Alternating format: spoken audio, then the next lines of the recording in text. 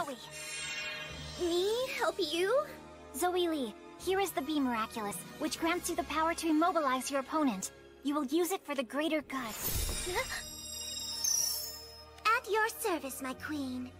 But Chloe's going to be furious. She used to be Queen Bee. Chloe will never know it's you. Unlike her, you'll keep your identity a secret, and once the job is complete, you will return the Miraculous to me. I can't do it. I'm not strong enough.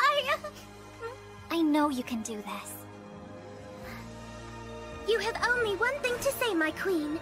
Moody gets squeaky.